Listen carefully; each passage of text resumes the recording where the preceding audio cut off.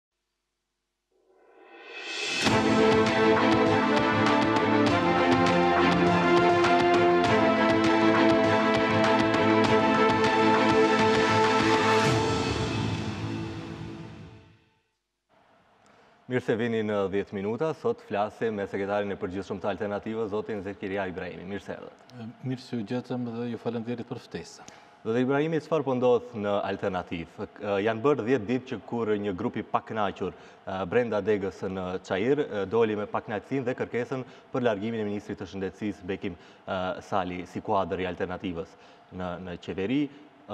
Ka një feedback, një reagim nga kryesia e partisë ose nga kryetari? Po, kërkesa që ka qenë publike nuk është trajtuar në organet e partisë dhe është bërë vetëm në publik. Nuk është se nuk e kemi diskutuar në kuadër të mbledhjeve së kryesisë së ngushtë. Ka mbetur që në një çast të dhënë në një mbledhje të kryesisë, nuk e di se kur do mbahet, se kjo varet nga kryetari se kur e cakton mbledhjen, ka mundësi të diskutohet edhe aty, por siç kemi, siç keni parë edhe ju edhe ne, domethënë, kishte pastaj një deklarim nga dega e Çairit, se aktivistët edhe anëtarët e degëve nuk janë ata që duhet t'i zgjedhin ose t'i shkarkojnë funksionarët dhe kjo bëhet në kryesinë qendrore të të partisë. Janë thjesht aktivistë apo ka një bazë, një nxitje nga ku vijnë këto reagime? Për neve janë aktivistë, domethënë, dhe nuk kam çka t'i shtoj asaj, domethënë, aty ka që janë të kryesisë qendrore, të kuvendit qendror, të kuvendit të degës së Çairit, por në fakt edhe unë jam aktivist edhe kjo nuk ka të keqe asgjë. E kuptoj, po e bëj këtë pyetje për shkak se Këto reagime dhe kërkesa, për shembull, vijnë pas një kohe që janë prishur marrëdhëniet tuaja me ish deputetin që tashmë është i pavarur, zotin Skënder Rexhepi Zejd. Nuk janë të prishur fare, domethënë, marrëdhëniet, po s'kemi hiç marrëdhënie, domethënë, për shak se ai është deklaruar që është deputet i pavarur dhe ai nuk është më pjesë e Alternativës, dhe s'kemi të bëjmë asgjë me të më, s'kemi as... Nuk, nuk i shifni si është, mund të jetë një me, me, me prapavijë të vetë zotit Zejdi, këto kërkesa, këto reagime tash, se nga një parti që dukej e konsoliduar, unike, pa reagime, pa grupe zjarri, në thonjëza ta themi, përnjëherë del, del ky grup. Po tash unë nuk dua të ofendoj askënd, domethënë, por nuk bëhet fjalë për një grup të zjarrit, domethënë, aty ishin Fjala bie kuvendi i degës së Çairit i ka 74 anëtarë. Kryesia qendrore i ka 38 anëtarë. Kuvendi qendror i Alternativës i ka 115 anëtarë dhe aty ishin 5-6 vetë, domethënë dhe kjo s'përbën asnjë lajm në Në tërësinë të numrave që janë në alternativë. Ne sigurisht e kemi respektuar atë kërkesë edhe pse adresa e asaj kërkese nuk është televizionet, por është mm. partia, për fat të keq në asnjë organ të partisë nuk ka pasur asnjë kërkesë të këtillë dhe nuk mund të marr rolin e falltarit dhe di se çka flasin nëpër kafene njerëzit, sigurisht që nuk është lajm i mirë për për neve kjo dhe ne do ta shqyrtojmë në të të të mbledhje të ardhshme të të kryesisë qendrore të alternativës. Dhe si për rastësi, kërkesa e tillë për heqjen shkarkimin e Zotit Sali, Ministrit të Shëndetësisë, vjen në një moment interesant, kur nga ana tjetër, në fakt i ka parapri këtij momenti, kur nga ana tjetër përflitet për hyrjen e mundshme të Aleancës për shqiptarët në qeveri dhe përflitet po ashtu se Aleanca ia ka vënë syrin, ta themi, Ministrisë së Shëndetësisë. Shiko, domethënë, rastësitë i besojnë vetëm ata që nuk janë të informuar në qoftë se flasim me këto terma. Domethënë nuk është rastësi.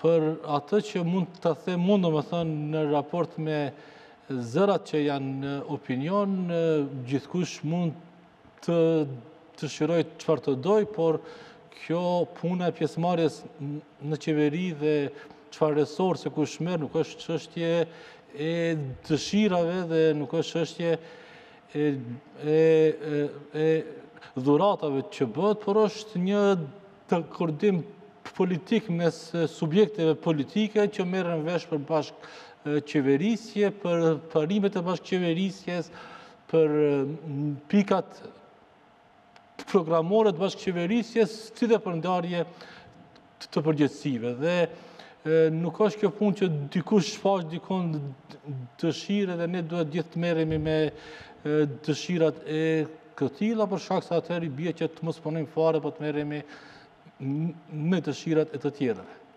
Pyetje e drejtpërdrejtë, a është e gatshme alternativa të heqë dorë nga Ministria e Shëndetësisë? Po këtë për shkak të postit të kryeministrit e thua, po, po, po për shkak se kjo është pyetje e, e, e dikujt tjetër. Jo, për shkak se uh, përflitet, po e them përflitet prapë se nuk ka akoma asgjë zyrtare, uh, uh, që Aleanca për Shqiptarët është partia që synon ta drejtojë këtë ministri. Dhe praktikisht i bie që ju të hiqni dorë. Domethënë kështu, në qoftë se ne u besojmë deklaratave të të kryeministit dhe të kryetarit të Aleancës për Shqiptarët, e unë nuk kam arsye të mos e besoj se atëherë i bie që u veshi atyre atribute të pamoralshme, ata thanë që kanë biseduar për integrimin e vendit në bashkimin evropian dhe për luftën kundër korrupsionit. Dje kishte edhe një deklaratë të kreut të Aleancës, i cili tha se nuk ka bisedime për futje në qeveri. Dhe nuk e di se kush tjetër duhet të deklarohet se s'ka diçka të këtillë që Dhe ju gazetarët të besoni se se s'ka diçka të këtillë. Nga ato informata që kemi dhe pyesim vazhdimisht, nuk është se mohohet në tërësi. Në kohën që ne i dëgjojmë deklarimet zyrtare, të besojmë në insinuata, është, më duket, jo etike ndaj atyre që i flasin, se atëherë i bie që Kreu i Aleancës s'po e thotë të vërtetën, se kryeministri s'po e thotë të vërtetën, që unë s'marr guxim t'i akuzoj për diçka të këtillë. Jo gjithçka thuhet në opinion, por ama edhe ne si gazetarë, nga kontaktet që mund të kemi me parti ose brenda qeverisë, mësohet që realisht po flitet për një gjë të tillë. Dhe nuk është se, se doli vetëm nga ne, është, është thënë nga, nga, nga, nga shumë njerëz dhe nga shumë uh, burime të ndryshme që e konfirmojnë këtë gjë. Ne për shkak se jemi subjekte politike që duhet të nisemi nga deklarimet zyrtare të eksponentëve politikë, nuk mund të them që ka bisedime të këtilla dhe gjithçka tjetër që vijon pas asaj është në rrafshin e supozimeve, domethënë Se kështu ju mund të më pyesni a e merr Aleanca për Shqiptarët drejtorinë e mbrojtjes së trashëgimisë kulturore, a e merr Aleanca për Shqiptarët shtëpinë Nënë Tereza, domethënë për çdo funksion që e ka Alternativa të përgjigjem se a e merr.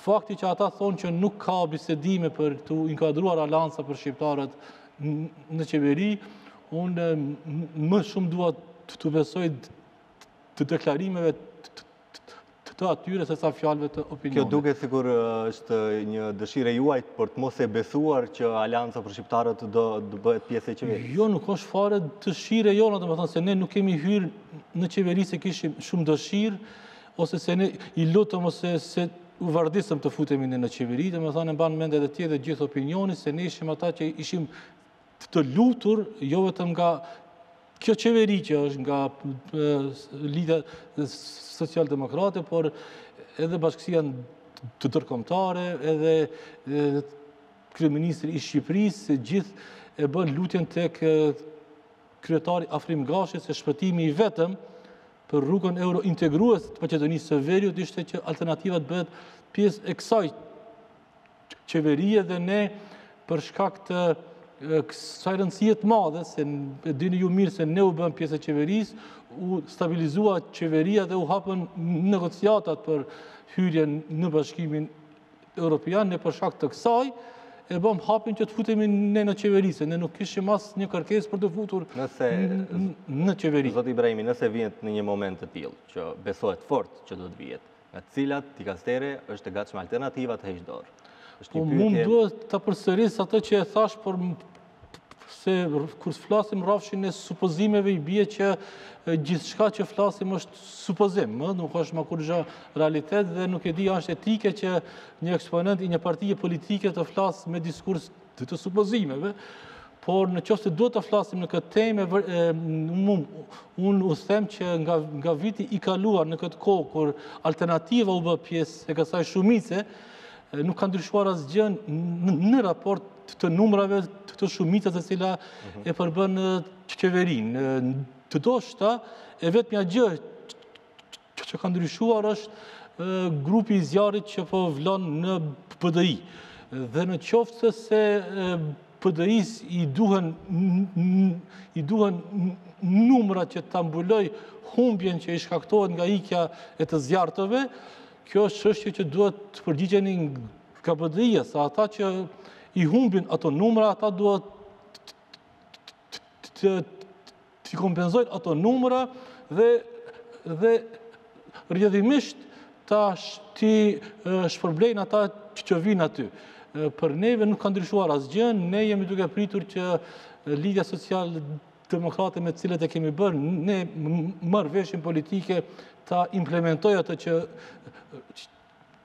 jemi dakorduar qoftë në pjesën e marrëveshjes politike, qoftë në pjesën e marrjes së përgjegjësive dhe për neve si Alternativë s'ka ndryshuar asgjë që do të që do të kërkonte të futet një element tjetër në këtë qeveri. Është e dukshme që nuk e doni Aleancën për Shqiptarët në qeveri. A do të dini... Konstatimi juaj nuk tha që nuk e duam Aleancën për Shqiptarët në qeveri. Po, nuk e keni mirëpritur. Jo, jo, ne themi në qoftë se Aleanca për Shqiptarët nuk është e domosdoshme në këtë qeveri, nuk mhm. është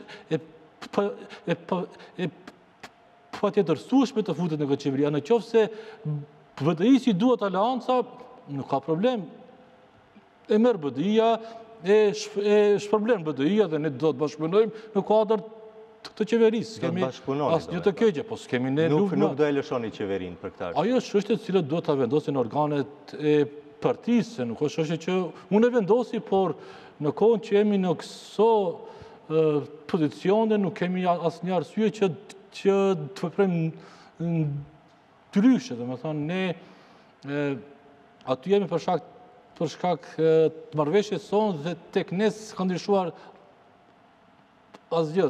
Ndoshta është mirë t'i thirrni e t'i pyetni ata të të cilëve u kanë ndryshuar numrat. Patjetër, ju falemderit shumë juve për kohën. Ju falemderit edhe juve shumë. Sigurisht të nderuar ishim me sekretarin e përgjithshëm të Alternativës, zotin Zeqirija Ibrahimi.